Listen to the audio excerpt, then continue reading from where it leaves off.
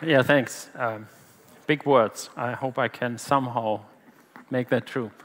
Uh, yeah, this session is about vulnerabilities, and um, you might be surprised when you see the session because it's not about vulnerabilities in detail. But we will see that. Um, my name is Gerrit Grunwald. I'm working for Azul Systems. As a senior developer advocate, I'm running the Java user group in Münster in Germany. So if there are any people that coming to Germany would like to talk at our user group, just ping me on Twitter. There's my handle, hansolo underscore. All right. So I'm a developer, right? I'm not a security expert.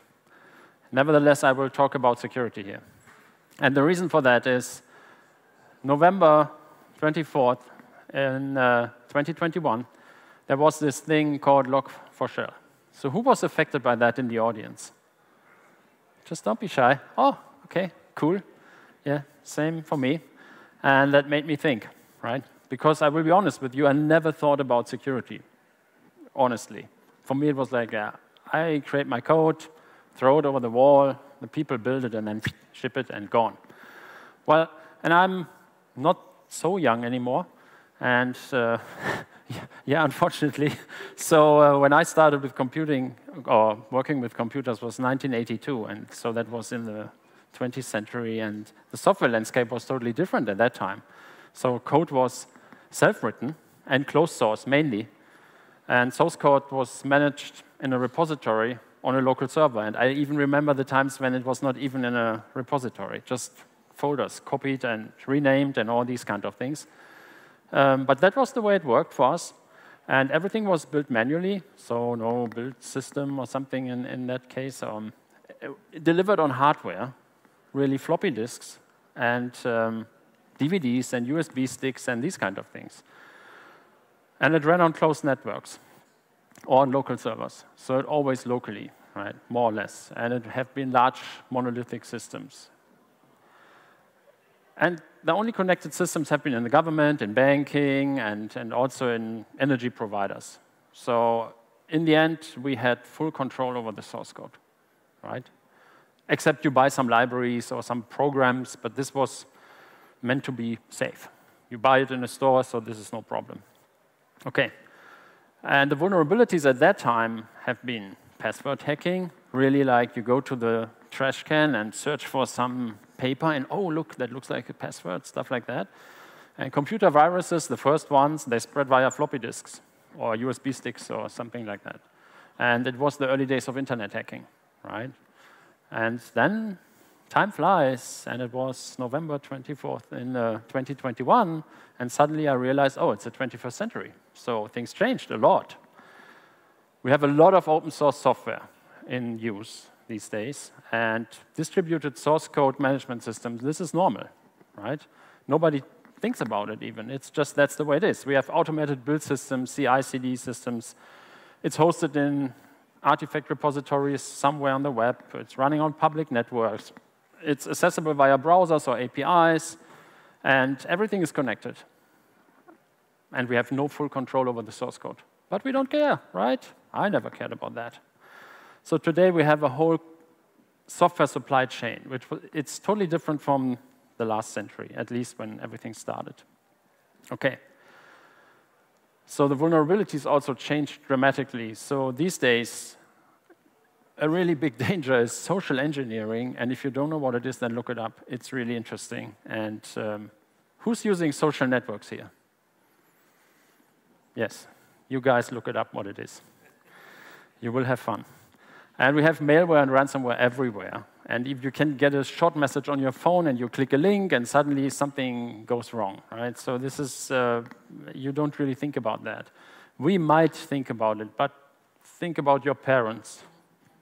They don't think about that kind of stuff.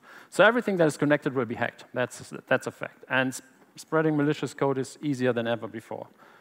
And the whole software supply chain, supply chain is target of attacks and I will come to what is the software supply chain thing. Um, so first of all, we have to take a look at some definitions, and this is the reason why I created that session. Because when I stumbled upon this log4shell stuff, there have been so many acronyms. The Americans are really good in creating acronyms.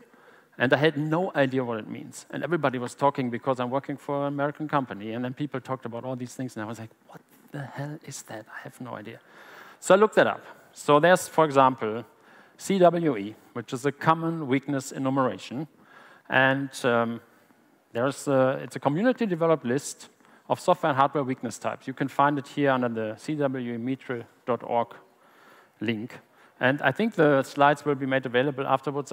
If not, then, and you would like to have them, ping me and you can have it.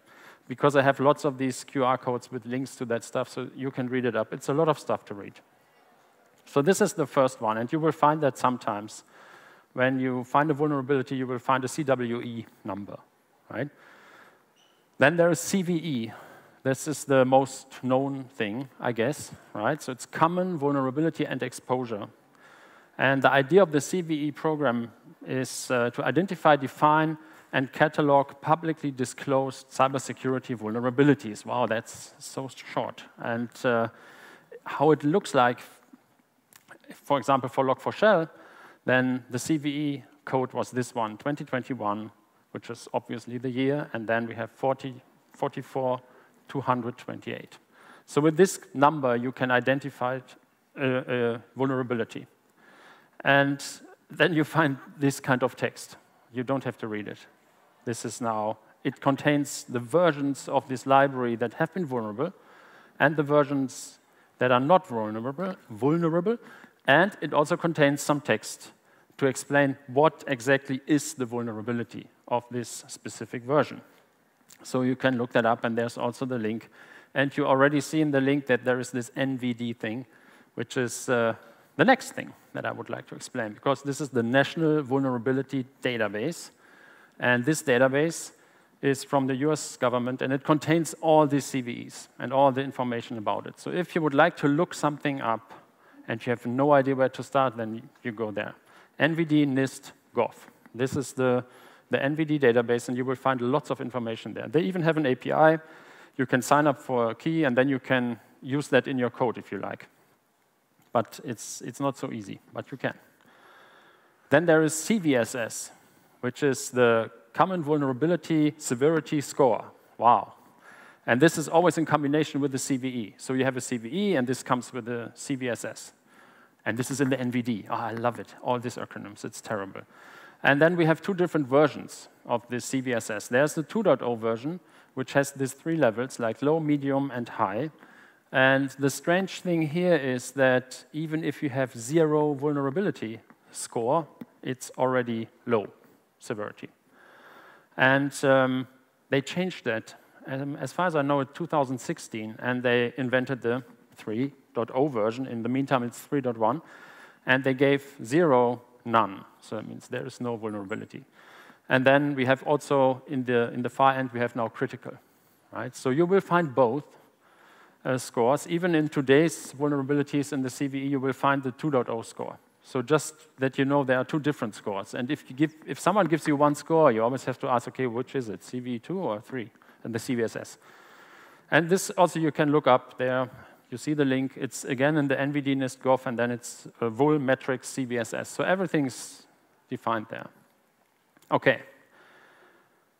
For Log4Shell, the CVSS 2 was 9.3, which was high, and the new one was critical. So, and you see the highest score, 10. And there is a reason for that, as we all know. So, the question is, is Java secure? Who's a Java developer, by the way? Uh, that's not obvious. Who does Kotlin? No one. Okay, one. Ruby. JRuby. No. Okay, uh, that's good. Uh, Scala, someone? Someone heard of it? Oh, yeah. okay, so it's Java secure. First of all, there's the Open JDK vulnerability group. This is one institution that should help to make it more secure. And it's a private forum of people that have been trusted members of the Open JDK community, and you just can't go there and say, oh, I would like to sign up, I would be, like to be part of it. No, it works differently. So they choose people, right? So it's, uh, it's really, it's based on trust, which is a good thing. And they receive and review reports of vulnerabilities in the OpenJDK base. Because you can imagine OpenJDK is written in Java, parts of it, right? So um, the code base also contains vulnerabilities, of course. And if someone reports that, then this uh, institution will take a look at it and review it. They won't fix it, right? So they collaborate on fixing the issues, but these are not the people that really fix the issues. They coordinate releases of such fixes, and they also maintain the list of CVEs. You probably saw that when you have, a, you can look that up on openjdk.org. There is a list for each uh, update with the fixed CVEs in there, if there have been some. Right, so you can look them, look them up. And this is maintained by this institution. And they track CVEs by component because it makes sense. Right? We have now modular JDK version. So who's using JLink and create is his own version of the JRE? This is really frightening. You should do that. Who's using a JRE? Ah, so what are you using in production JDKs? Nothing. Okay, too shy. No problem. So you should use JLink, right? And we will come to that. And the reason is because not all Java users use all components, so it makes sense to track them, the CVs down to components. And uh, they also discuss OpenJDK security-related issues and so on. And they does not actively test the OpenJDK source code, this institution. But this, it's there, and it's good that it is there. Then we have the Java release cycle. Uh, it doesn't really sound like this is related to security, but we will see why that makes sense. So first of all, we remember these days, right? It took four and a half years from six to seven, and then three years from seven to eight. That was the old cadence, and then we switched to the new one, which is now much faster. We have a lot of different versions. We don't only, not only have LTS releases, which is long-term support versions, we have also STS releases, which short-term support versions. it's only for six months. But it gives you the opportunity to really test stuff before you come to the next LTS, and then you can use the LTS in production, and you should use LTS if possible. Okay. So you see that it switched from three years down to two years in the meantime. So the next version, JDK 21 for this year, September, we only have two years between LTS releases, which is even better. So you don't have to wait a long time for these uh, LTS releases. Why is it important? Because of this. If you see the features per release in the old cadence on the left side, you see it had been 56 for JDK 8 and 91 for JDK 9. The reason for 9 is obvious because we got the module system there. But you can imagine if you introduce so many features in one release, there's a huge opportunity that you have a lot of vulnerabilities in there. And it's hard to test that. Then you see the new release cadence and you see the features that made it into the next version, and it's much lower, the numbers, which makes it more easy to test the stuff and make sure that it is secure, right? Less features per release means less potential vulnerabilities. So it makes sense. That's the reason why the release cycle is an important part of the whole security thing within the JDK. And it's interesting that you see stuff like five new features. You think, wow, this is not really a lot. Depends on the feature, of course. But yeah, it's, um, it's interesting that this really makes sense when you look at security. The other thing is Java updates, and this is interesting because a lot of people don't really know that there are different ways of how to update in a JDK or what is available. So first of all, there is a so-called CPU, a critical patch update. And I have to ask, who has a Java subscription here? Java SE subscription or Azul subscription? Don't be shy. One, just a few. Who doesn't have? Okay, so all that don't have a subscription probably never saw the CPU release or CPU updates, because this is usually just available if you pay for it. What it is, is it contains only fixes for vulnerabilities and critical issues, and that's it. Nothing more, right? So it's really safe to use that in production because you can be sure that there have been no new features in that version. When we take a look at the next one, which is the PSU, and this is the one that you can download everywhere, then this is the patch set update, and that contains the CPU, but it also comes with fixes for non-critical issues, and it comes with new features. And you can imagine if you introduce new features in an update, there's a possibility that you also introduce new vulnerabilities that not have been found yet, right? So the idea is if you pay for Java, doesn't matter who you pay for, but if you pay for it, you get the CPU updates. And if you are old enough, And remember the old days where we had the Java 8? Who's using Java 8, by the way, in production? Okay, 11? Cool, and 17? Yes. Great, that's good. So in Java, Java 8, we, we saw on the Oracle page, you might remember this update 8U251 and 252. This is exactly the PSU and CPU thing. And then they change the license again, like Oracle like to change their licenses and all these things. And then they take it away. So now you have to pay for it. And then you get the CPU. And the PSU is the stuff that you can download for free. For also for all the other vendors. It's only three vendors. I think it's Azul, Bellsoft, and Oracle that offer CPU releases. Everybody else only does PSU. All right, so it makes sense to use a PSU. And uh, to show you how it works, it's, I try to visualize it. It's not so easy. We start in January. We get four times a year, we get the updates. We start with 1701. And we see on the upper part, we see the PSU that also contains the CPU. And the blue part is the new feature stuff. And then we, on the lower part, we just have the CPU updates. so if we go now to the next update in April, then from 1701 PSU to 1702 PSU, we get the new features, right, and fixes. And the 1702 CPU only contains bug fixes from the 1701 PSU. It's a little bit complex, but with this you can make sure that you only get the fixed version from the last PSU. This means the CPU is always a step behind, but it's more secure. That's the main idea behind it, right? And that goes on then for July, and then also for October. And that's the recommendation. If you have mission critical stuff in production, then you might want to use a PSU uh, CPU instead of a PSU release. So this is, but that's up to you. Just to let you know that this is available, and this could help also in terms of security for the JDK.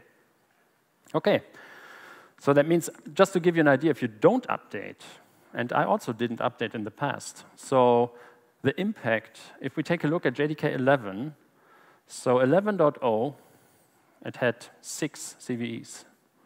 Okay, then 1101, 2, 3, 4, 5, there was only one fix, and then this 5 stick, stuck in the, in the OpenJDK release to 1106.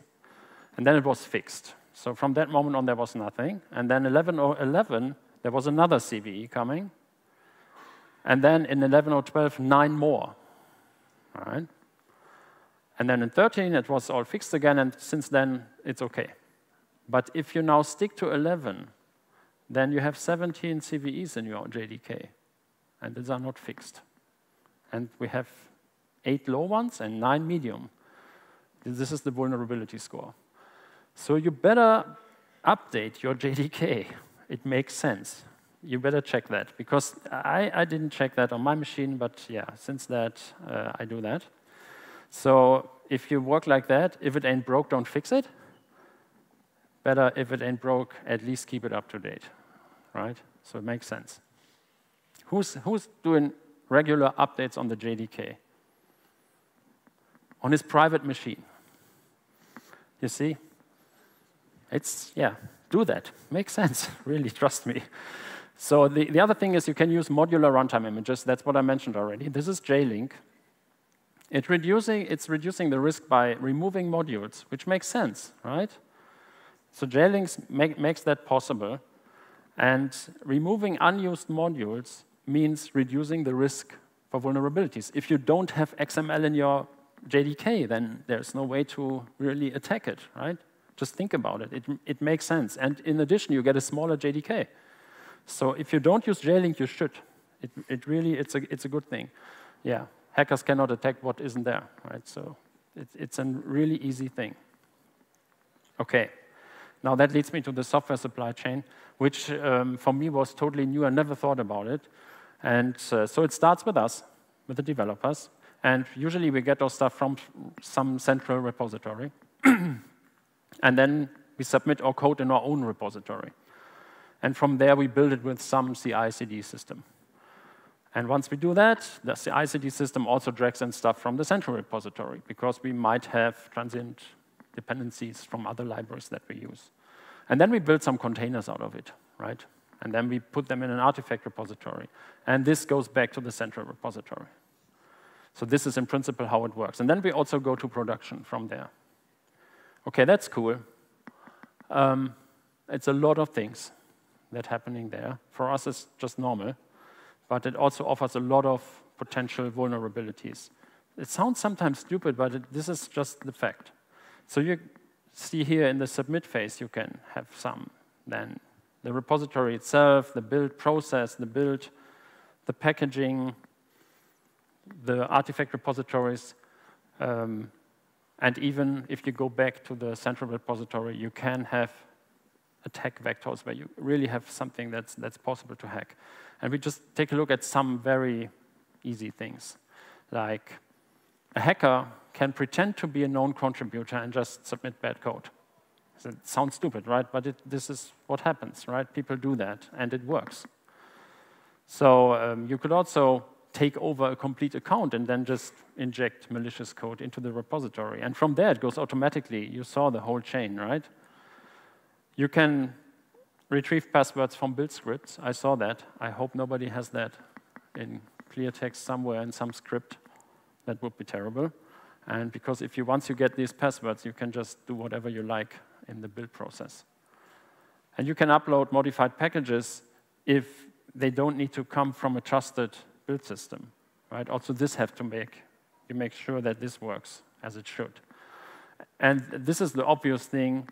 Everybody from you really got at least one mail where it says, oh, this is your bank, and so sorry, you have to click this link to do something, and it looks exactly like your bank account. And this is also something which happens a lot. So be careful with this stuff. That's all obvious. Who's using open source here? Yeah, everybody, right? And then you know this thing. You don't have to read it. It just contains some very important words like is provided as is, right? Without warranty of any kind. And in no event shall the authors or copyright holders be liable for any claim, damages, or liability. Right? Did you ever read that and understand what it means? This means I owe you nothing right? That means you create code, put it out there, and you use that. And you, yeah, that's a license. Yeah, yeah, yeah it's, it's whatever it is. I just read it. No problem. So keep in mind, and this is exactly how it works, that uh, open source maintainers are not suppliers, right? So you don't have a business relationship with them. They owe you nothing, right? And if you use this code, it's up to you to make sure that it's secure and safe. You can't blame them because they made sure to say, okay, I'm out. If you use that, your turn, right? Because we saw that after Log4Shell. People, how, how can they do that, right? Wasn't it tested? It's not their fault. But this is how it works, and that's the, a big problem these days. People just trust everything. Is someone doing Node.js? NPM?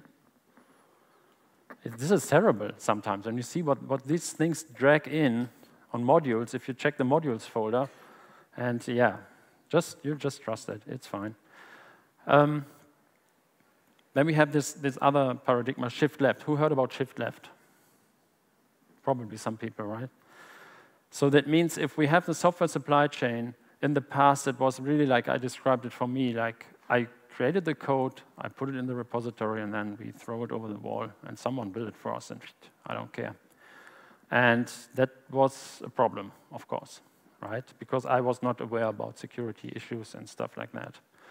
So what it means, we have the dev side on the left, and we have the ops on the right, and shift left just means the people on the left side should take more care about security. This is the whole movement of shift left. That's what it means. It doesn't mean it's only shift left, right? So if we take a look at DevOps, then it's now DevSecOps in the meantime. That came up over the last years. First was DevOps was the thing, and then suddenly DevSecOps is the thing. But what is it really? So if we take a look at this DevOps loop, then it starts with planning, coding, building, and then releasing. This is the dev cycle, and then it goes into deployment, which is more on the ops side, operate, monitor, and then back to planning. So this is how it works. So where's security here? It's everywhere. Security belongs to all of these things. It's not left or right or something, right? Security should be all over the place to make it right. So shift left, yes, but also validate right. And what that means, I will come to that later on. So I have some facts for you that I found on the internet, which is quite interesting. This is from the Sonatype State of Software Chain report. And it says that over the past three years, there was an increase in software supply chain attacks by 742%, which is huge. And another thing, this is from the, N, from the National Vulnerability Database, from the NVD. They also made some statistics, and you can see here on the very far, this is 2021, and they said just in this year, they saw 20,142 unique bugs and security vulnerabilities recorded. And you see that this is increasing. So software is in danger. If you don't take care about it, you will suffer from that. So another thing that I found quite interesting, Christian Grobmeier, who's one of the Log4j maintainers, he said in an interview for a German news magazine that even after 15 months, after the bugs have been fixed in Log4j, in Log4j still 34% of all downloads downloaded the vulnerable version, still. Users are just lazy. They don't care. Or they don't know. That's the other thing. If you have a dependency that has another dependency and drags in the old version, you're vulnerable, right? And I found that quite interesting. I mean, this is more than a year later, after the, the issues have been fixed, and still 34%, a third of all downloads, are still downloading the vulnerable version of Log4j. Right? and this is one of, one of the reasons, probably. This is the transitive dependencies. That means you have a dependency on whatever library, and this library drags in something else, and you have no idea what it is. And this could be a vulnerability. And you see that is also from the Sonatype State of the Software Chain report that six out of seven project vulnerabilities coming from transitive dependencies. So, not good. And there's this other report, which is the Synopsys Open Software Security and Risk Analysis report, and they found out that they scanned code bases, and they found that open source found in 96% of all scanned code bases and 76% of the code that they scanned have been open sourced. Right? That, that, was open source code, which is interesting. So source code, open source is everywhere, and we just trust it, more or less. And then they also said that um, at least one vulnerability was found in 84% of all scanned code bases. And 48% contained a high-risk vulnerability. That's half of it. Just imagine right? It could be you, it could be every second person in the room. And that's, that's critical. And who's really thinking about it? Uh, to be honest, I'm not. I'm writing code. I'm not thinking about this kind of stuff. But it was shocking when I saw that. So the question is, what can we do? What's the solution for that? Right? First of all, you can update your JDK. Do that. And there are tools. There's, for example, SDKman. Who's using SDKman? Yes, cool tool. Uh, by the way, who's running on Windows here? Sorry, no SDKman for you. but um, yeah, SDKman supports many JDK distributions. And now I get this nice pop-up in my screen here. Oh, sorry, what's that? Ah, okay. So um, it's command line only, and it's only for Linux and Mac. And it downloads and installs JDK and can also keep it up to date, which is great, right? So you can just, I, I don't use it because I would like to have full control over where my JDKs are installed, so I never used it. But uh, I like the idea. So I created my own tool, which is called JDKmon, and this was mainly because I'm lazy and I, I really hated to look up the websites from the distributions and check if there's a new version available because I don't know the release date by heart. So I created that tool, and first it just checked distributions if there are updates. And then I figured out, oh, that's nice, I can do more. Um, so it supports more or less all JDK distributions, also GraalVM, also OpenJFX, and this is more than 20 different distributions. And it's a taskbar application. You can install it, and it will sit in your taskbar and will check in the background if there are updates available, and you can just update the, your JDK. And it's for Windows, Linux, and Mac because it's a Java tool. And it also checks for vulnerabilities of the OpenJDK distribution. And I use just the NVD to look that up. So, and this is how it looks like, right? So you have your window, it shows you all the versions. If there is an update, it shows you the version that is available. You can just click, and it, you have to install it because I like to install the stuff in specific folders. But if there's a problem, you see this red thing with the attention mark there, the uh, exclamation mark. If you click that, you will get this. it shows you the CVEs for this selected JDK. And you can click on the CVE and will show you the, the text for the CVE, so you can look it up. So um, with this, you can check if your installed OpenJDK distribution is vulnerable, and even if it is vulnerable, you can't change it. You can at least look it up. What are the vulnerabilities here, right? So, yeah, this is just a free tool. You can download it. I just did it really because I'm lazy. The other thing that you can do is static code analysis. Who's doing that? Awesome. That's good. So it's usually part of a code review, like white box testing. It identifies vulnerabilities in source code at the implementation phase, right, that's very inexpensive because you can still change it easily, it's no problem. And there are standalone tools and there are also IDE plugins. And this is a list that I found on the NIST side. This is not the best list. This is just a list that they say this is, these are tools that you can use, right?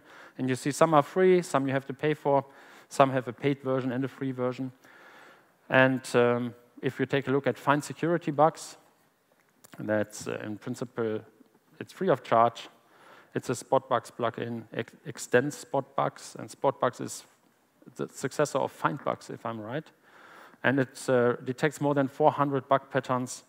It's a plugin, and um, this is how it looks like. You have a bug explorer on the left side. This is, I think, an Eclipse. And then it just shows you, okay, th there's a problem here. You can do that in a different way. It helps you to write more secure code, which is nice so you can use it, and it's for free. Um, then there are vulnerability scanners. That's a little bit more advanced, right?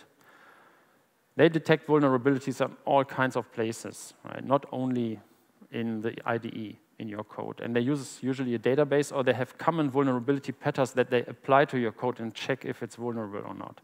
And they monitor misconfiguration and coding flaws, help using only artifacts from reliable sources, it helps using only latest secure version, right, which is also very nice. And the appearance of new packages with fixed vulnerabilities, so they tell you, oh, there's a fixed version for this package, for example, and they can update dependencies, which is great. And how they work, they work on all these places in source code, on the repository level, in the CI/CD system, in the artifact repositories, they can also scan that. They also can run on production but usually that's an agent. And now I have to ask you, who is running vulnerability scanners in production here? Yeah, that's what I thought. It's typically not that many people because they just trust, uh, if, it, if it was okay in the CI/CD system, then it will work in production, right? This is what usually happens. And the other thing is there is an agent. If, it, if an agent is running at the same time, it has an overhead. If we take a look at an agent, what is an agent? Then if this is the JVM, then this is not a black box like it's here. It's, it has all these kind of different modules like the class loading subsystem, JVM memory, execution engine. And for example, the class loading thing is interesting. And it also comes with an API. It's a so-called instrumentation API. And this can be used by an agent. Right? Agent is just some code that is running and that can talk to the JVM using this API. And for example, what it can do, it can have a callback that every time when the class loader is loading a class, it will call back to the agent. And then the agent can do something and scan it, for example. But you can imagine that this takes time. This is really a performance overhead, at least 10%.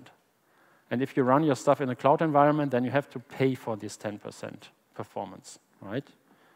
So we have a different, here's a list of some vulnerability scanners uh, for Java development. We have also one, and there's Black Duck, X-Ray, Snyk, SonarQube Trivy, and there are lots more. Even there are free ones and paid ones.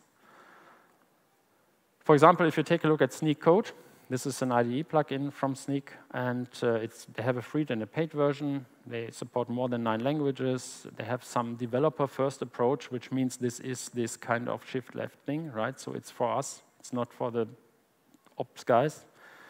And it's the standalone tool and also as an IDE plugin, so you can use both of that. And it also has CI/CD integration. It doesn't come with production uh, support, right? And this is what it looks like. So it can show you where's the problem. This is a JavaScript version here.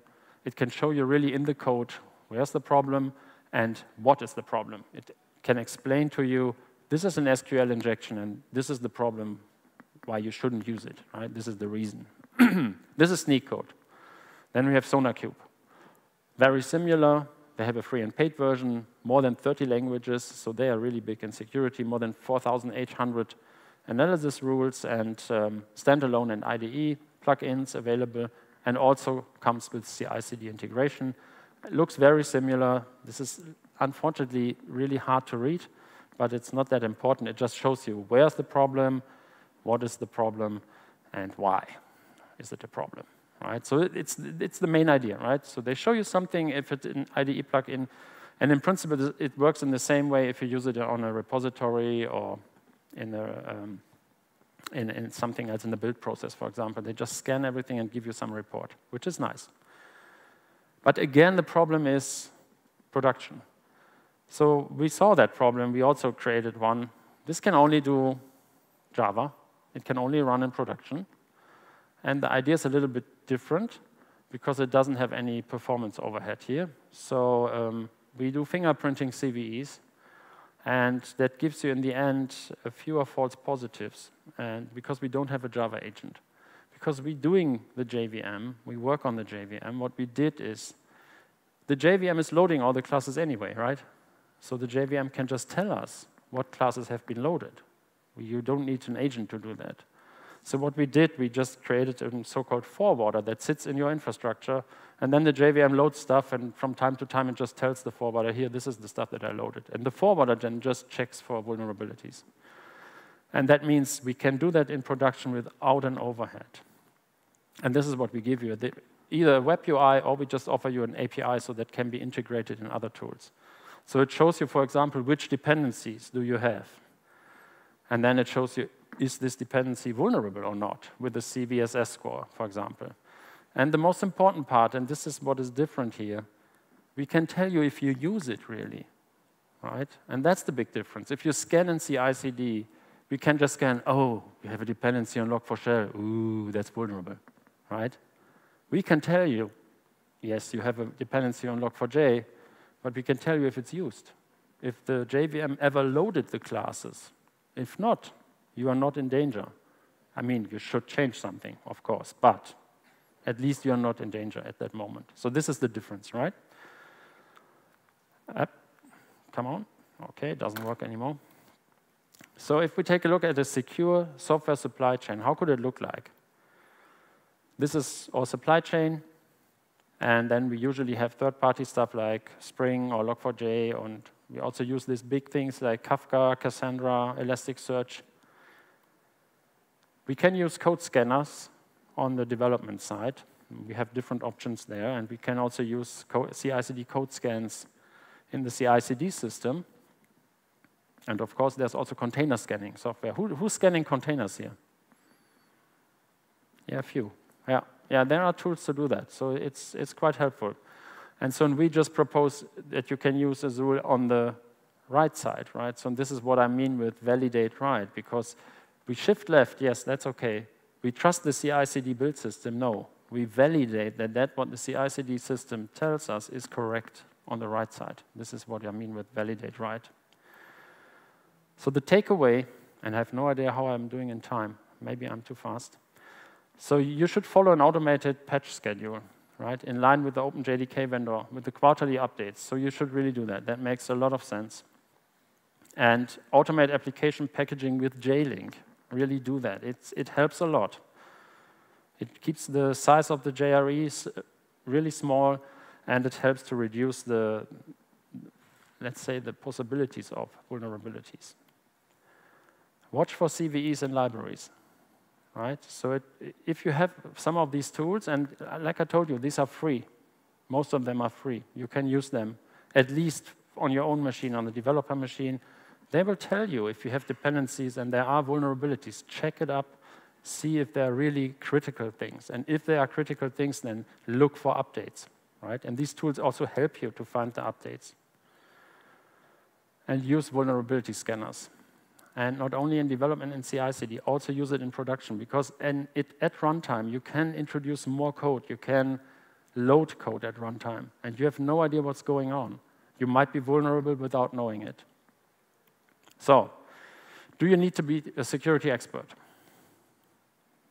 Probably not, right? But you need to be aware that this kind of things are there and that they are dangerous. And it gets more dangerous every year. I never thought about it, but I saw the statistics, and it's really frightening when you see that. So with this, I just say stay secure. And if you have questions, I, I still, we have still have five minutes left. So if you have questions, you can ask them now. Otherwise, I will be around. You can ask me later on if you like. And um, that's it. Thanks for attending.